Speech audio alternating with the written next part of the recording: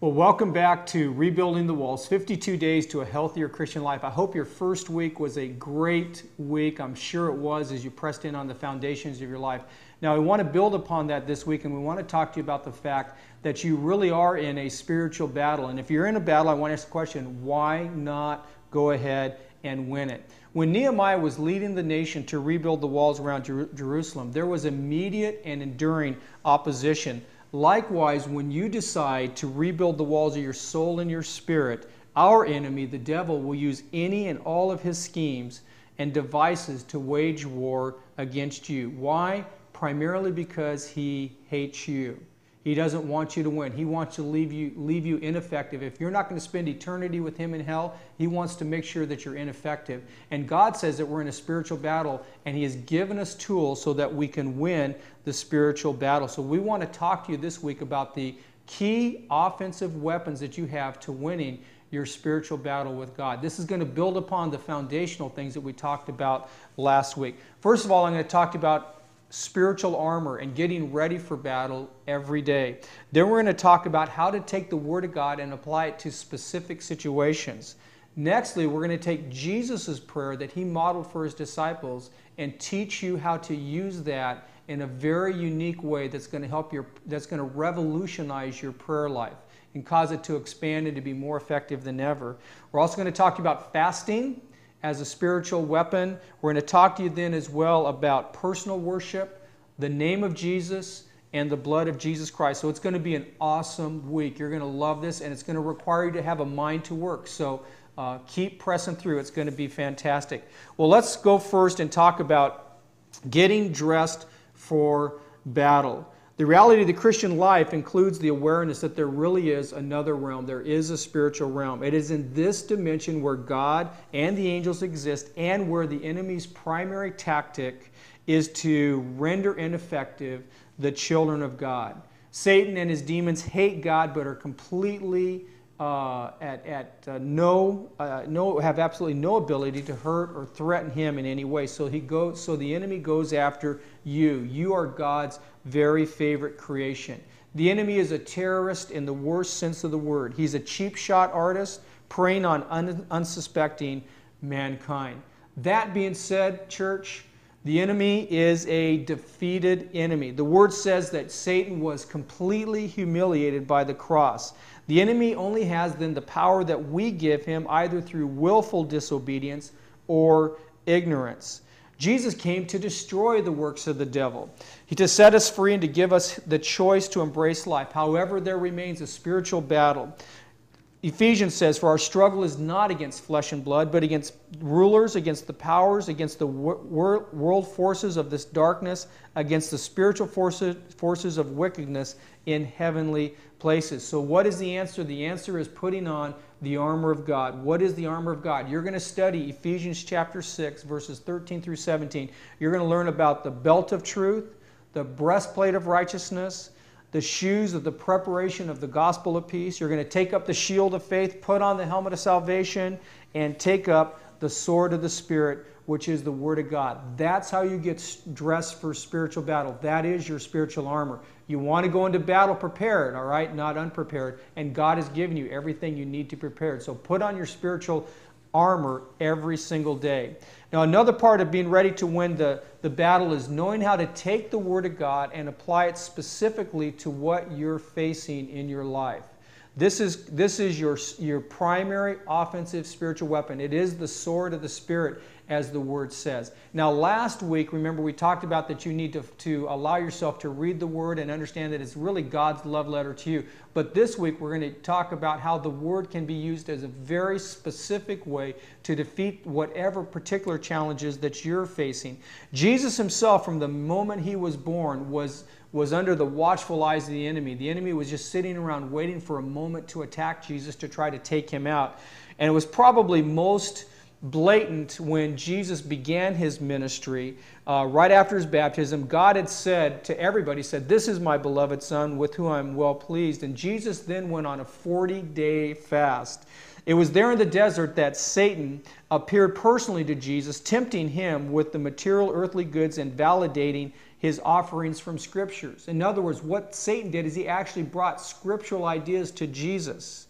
The devil waited until Jesus was alone, tired, hungry, and probably a little apprehensive, and then he attacked. And the devil will do the exact same thing with you. He's not going to attack you at church on Sunday more than likely. He's going to get to hit you when you're tired and alone.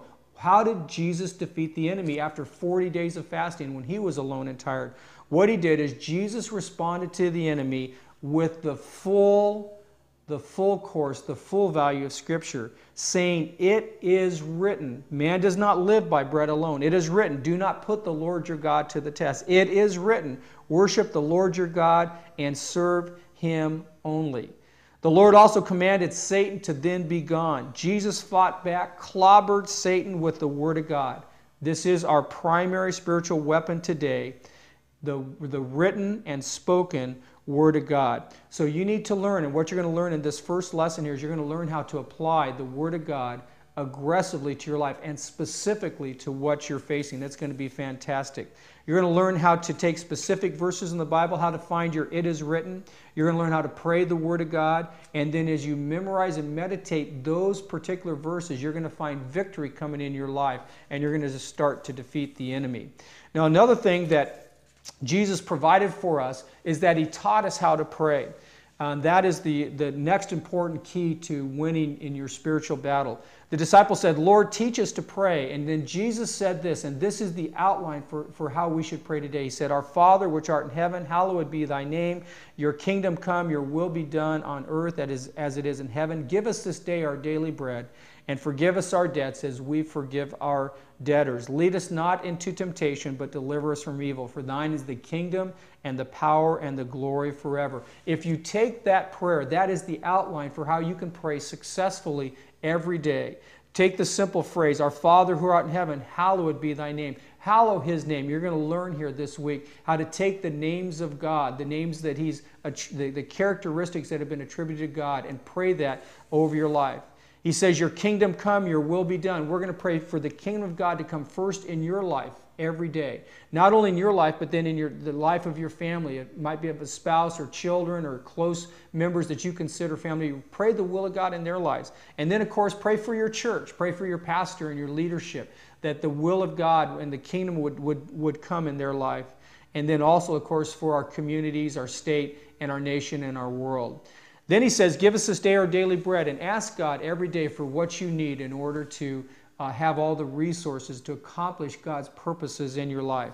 Forgive us our debts as we forgive our debtors. We've got to be a forgiving people. And so God asks us to uh, forgive as we have been forgiven. Lead us not into temptation, but deliver us evil. Right here, you're going to put on the armor of God again. Remember, every day you want to put on the armor of God so that you're protected against the attacks of the enemy.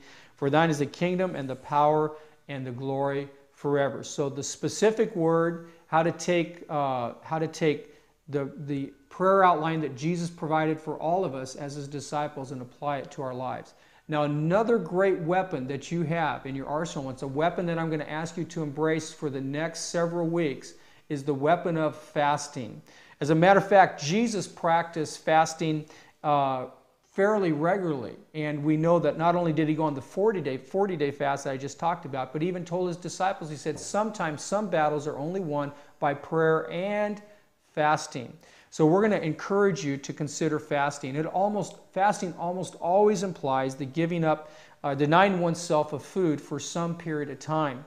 You know what? You can't fast oxygen. You have to breathe in order to live. But almost everything else you can fast for some period of time. And food is one of those things that uh, that is a great thing to fast because we regularly have hunger pangs, and they ought to become when we're fasting. They become signals to us about we need to also take care of our spiritual man. So we're going to ask you to consider fasting something or some way one day a week for the rest of your 52 day journey. And you're going to learn more about that, why fasting is so powerful. Now, as we conclude this week, I want to let you know that you have a, a great opportunity to learn three critical weapons in your spiritual arsenal in defeating the enemy. The first is personal worship, the second is the name of Jesus, and the third is the blood of Jesus. I want to talk to you about those three real quick as we get ready to move on with this week.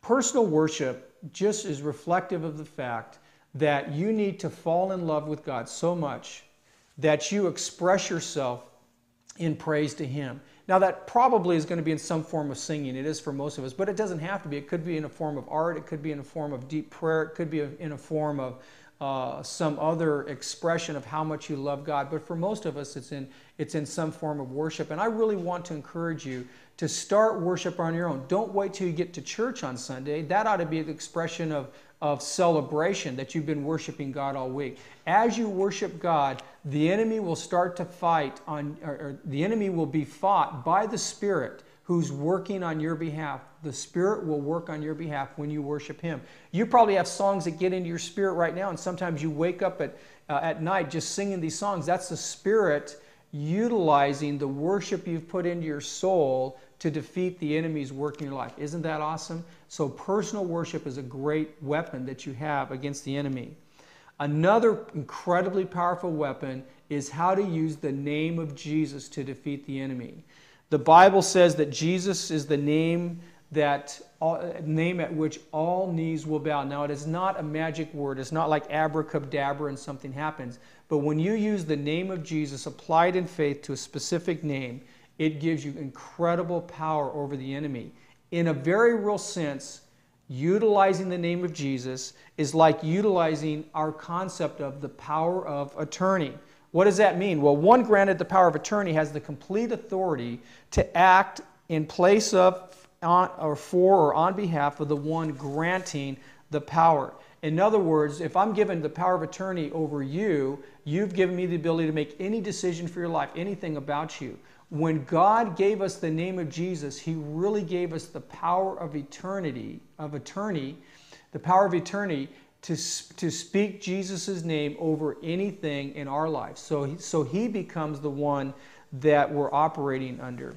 Use the name of Jesus, use the power of attorney that he has given you. The name of Jesus is one of the major weapons with which you defend and attack the kingdom of darkness. Your hope is not in yourself, it is in the power of the word, his name, and his blood. Now, the last thing that I really want to, to encourage you on as a powerful spiritual weapon is the blood of Jesus. Revelations chapter 12, verse 11 says, They overcame him, Satan, by the blood of the Lamb and by the word of their testimony. Now, why is there so much about blood in the Bible? That's a really good question. Blood is a critical concept from the beginning of the Bible all the way through to Revelation. Why? Because life is in the blood.